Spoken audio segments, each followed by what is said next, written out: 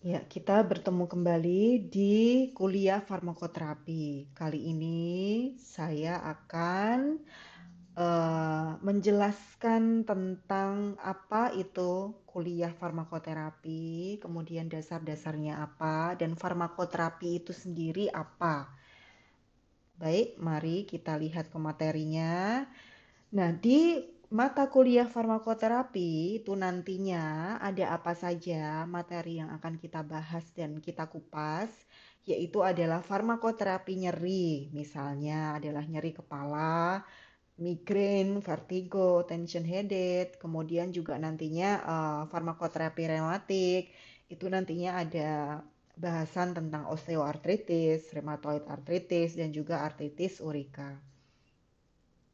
Selain itu di farmakoterapi sistem saraf nantinya kita juga akan uh, mengupas tentang bagaimana sih terapi yang tepat untuk uh, penderita Parkinson, kemudian penderita epilepsi, meningitis dan juga ensefalitis.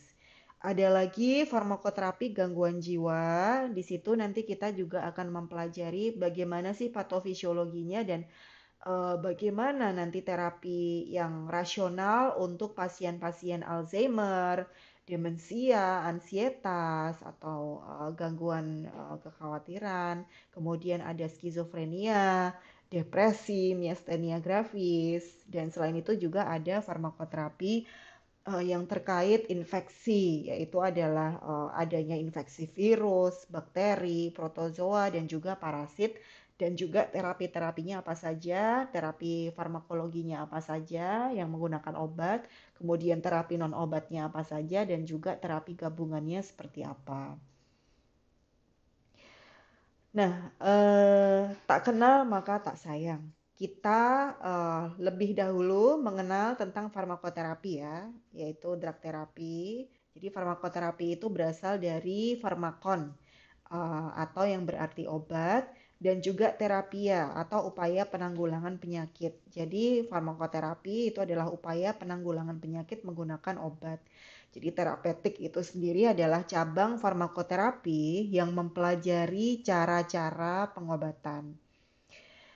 Adapun terapi, farmakoterapi itu sendiri nantinya atau plan terapi yang kita apoteker uh, bisa tuliskan, bisa rencanakan nantinya itu ada terapi obat, atau farmakoterapi dan ada terapi yang nir obat atau tanpa obat atau non farmakoterapi. Itu misalnya dengan modifikasi gaya hidup, modifikasi lifestyle, kemudian bisa dengan diet, operasi, fisioterapi, hidroterapi atau radioterapi. Nah, itu masuk ke terapi-terapi non obat.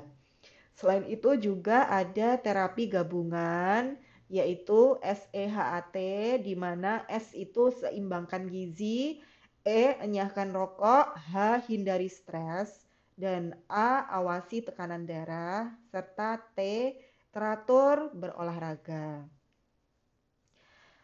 Adapun proses terapi itu sendiri apa sih? Jadi proses terapi itu sendiri adalah suatu proses ilmiah profesional dan bukan proses yang berlangsung secara otomatis dan intuitif. Adapun bekal yang harus kita uh, yang harus kita ketahui gitu, yang harus kita punya, skill yang harus kita punya sebelum kita melakukan plan farmakoterapi ke pasien, itu kita harus mengetahui terlebih dahulu gejala-gejala suatu penyakit spesifiknya apa saja. Kemudian patofisiologi atau terjadinya penyakitnya seperti apa. Kemudian cara terapinya itu juga bagaimana dan juga melakukan analisis setiap temuan. Jadi misalnya parameter labnya, gula darahnya berapa, tekanan darahnya berapa, kemudian ada permasalahan apa di pengobatannya, permasalahan apa di penyakitnya, di gejalanya. Nah, itu kita analisis satu persatu. Selain itu juga ilmu komunikasi yang baik, uh, penyampaian tentang terapi kita, terapi yang kita plankan atau yang kita rencanakan ke pasien itu juga harus baik. Nah, itu ada ilmu komunikasinya sendiri. Selain itu juga sifat farmakologi obat yaitu farmakodinamik dan farmakokinetik obat itu kita harus kuat juga gitu ya sebelum kita memplan suatu terapi ke pasien. Adapun tujuan farmakoterapi itu adalah nantinya tujuan utamanya agar pasien itu sembuh. Dan uh, untuk menuju ke kesembuhan pasien, maka uh, ada tindakan-tindakan preventif atau pencegahan terhadap suatu penyakit supaya penyakitnya itu uh, tidak terjadi atau ketika sudah terjadi penyakit preventif itu di uh, diterapkan supaya penyakitnya tidak bertambah parah. Misalnya kayak modifikasi gaya hidup. Kemudian juga diagnostiknya itu harus tepat dan nantinya tujuan farmakoterapi untuk mencapai kesembuhan itu juga dilakukan tindakan kuratif atau uh, menggunakan obat. Kemudian proses farmakoterapi itu sendiri itu berasal dari keluhan pasien, kemudian pasien juga didiagnosis, kemudian eh, cara penyembuhannya nanti seperti apa, kemudian terapi obatnya itu nanti apa saja yang dipilih drug of choice-nya, kemudian dilakukan pemilihan obat dan juga penetapan aturan dosisnya itu seperti apa. Kemudian dilakukan peresepan, penyerahan obat, penggunaan obat, dan juga efeknya nanti bisa sembuh ataupun uh, tidak sembuh. Nah, ketika tidak sembuh nanti dievaluasi lagi terapinya, kemudian diperbaiki supaya uh, pasiennya bisa uh, terkontrol dengan baik penyakitnya. Nah, dalam proses farmakoterapi atau tujuan untuk kesembuhan pasien itu tidak mungkin ya kalau suatu tenaga profesional kesehatan itu bekerja sendiri. Nah, ketepatan terapi atau uh, keberhasilan terapi itu akan lebih baik apabila ada hubungan yang baik atau kerja kolaborasi yang baik itu antara baik itu pasiennya sendiri, dokter dan juga tenaga profesional lain dan juga apotekernya. Nah, dokter tuh nanti kompetensinya lebih ke diagnosis, kemudian uh, apoteker nanti lebih ke uh, bagaimana evaluasi obatnya atau evaluasi terapinya, apakah sudah terkontrol dengan baik atau belum penyakitnya. Kemudian, apa saja faktor yang berpengaruh terhadap hasil terapi, yaitu adalah ketepatan diagnosisnya. Jadi diagnosis, uh, jadi terapi kalau mau berhasil diagnosisnya itu harus tepat. Jadi misalnya kalau misalnya uh, penyakitnya hipertensi, ya nanti uh, diagnosisnya juga harus tepat hipertensi sehingga nanti akan diberikan terapi obat hipertensi yang tepat juga. Kemudian ketepatan pemilihan obat dan juga ketepatan aturan dosis. Jadi jangan sampai dosisnya berkurang atau uh, dosisnya underdose atau dosis dosisnya overdose atau kelebihan dosis. Selain itu juga mutu obatnya, apakah obatnya itu sudah expired atau belum, nah itu juga berpengaruh terhadap keberhasilan terapi.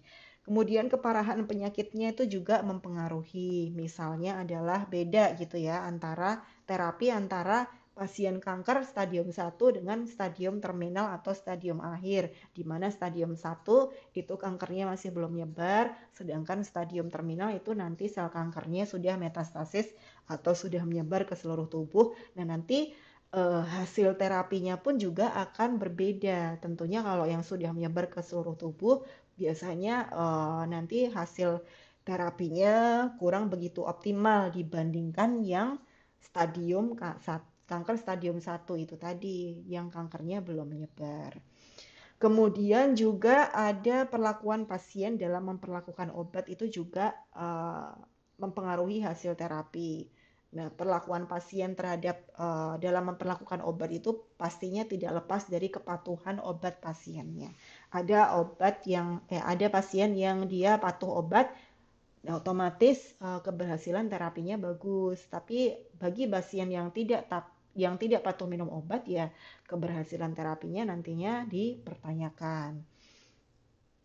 Selain itu, lanjutan faktor yang mempengaruhi keberhasilan terapi adalah tepat diagnosis. Nah, dasar diagnosisnya apa? Yaitu adalah anamnesis dari dokter, atau riwayat penyakitnya, kemudian pemeriksaan fisik dan juga pemeriksaan laboratorium.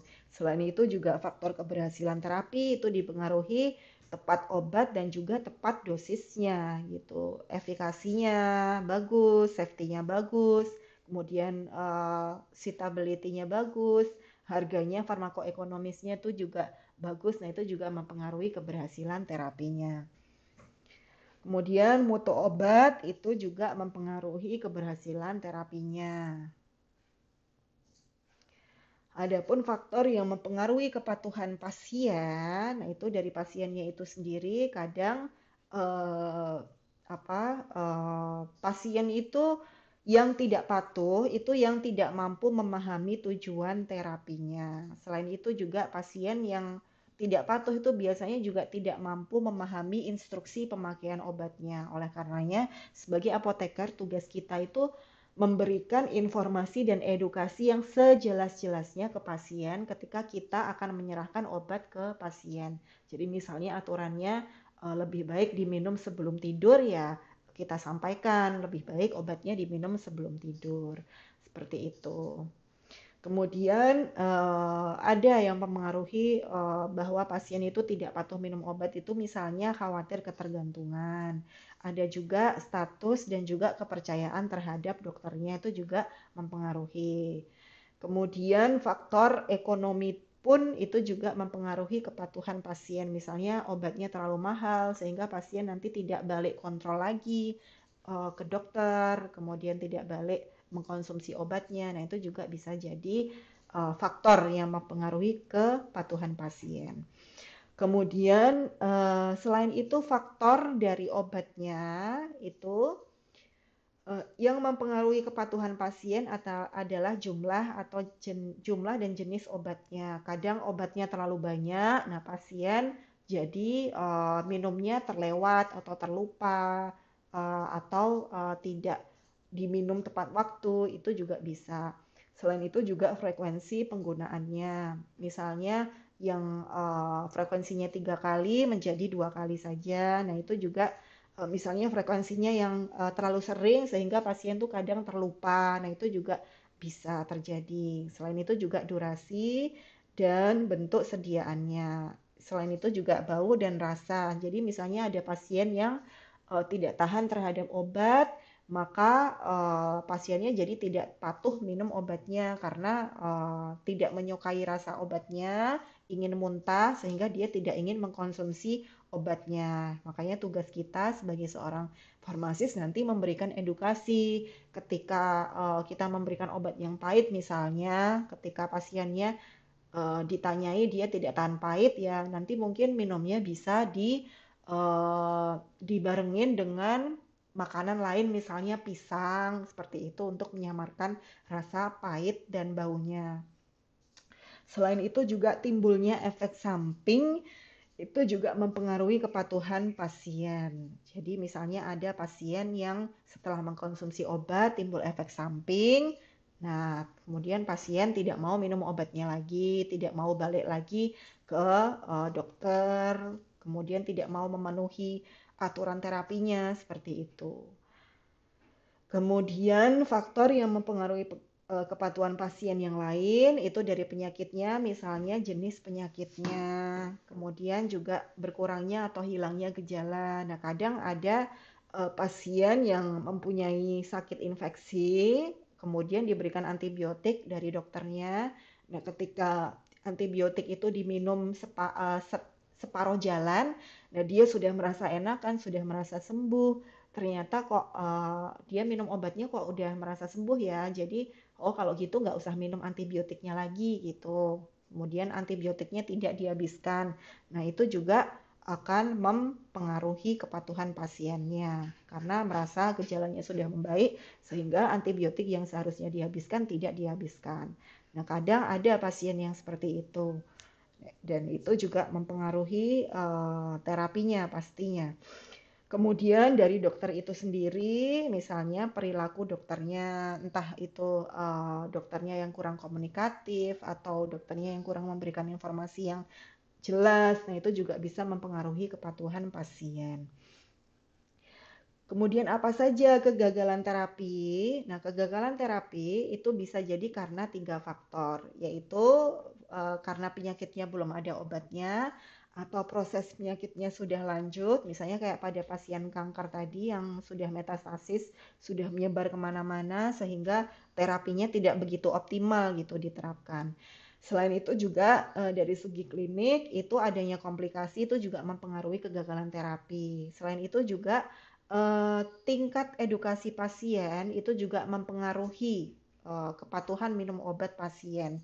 Jadi kadang ada pasien yang tidak taat, nah itu otomatis menyebabkan kegagalan terapi karena tidak patuh minum obat. Selain itu juga e, pasien tidak taat terhadap pantangan. Seharusnya Misalnya uh, pasien diabetes mellitus tidak makan yang manis-manis, tapi ini tetap melanggar makan yang manis-manis. Nah, otomatis gula darahnya tidak terkontrol dengan baik.